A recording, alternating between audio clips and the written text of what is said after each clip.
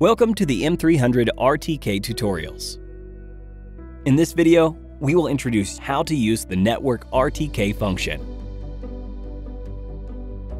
To use the network RTK function for positioning, all you need is a Matrice 300 RTK aircraft, a remote controller,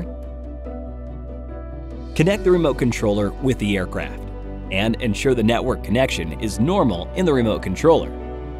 Open DJI Pilot app and enter the camera view. Tap RTK. Set the RTK service type to Custom Network RTK. Set server and port. Input your account and password. Tap to link with the server. When the heading and positioning status are indicated as fix, it means the RTK module is ready and the aircraft is ready for flight. Thank you for watching.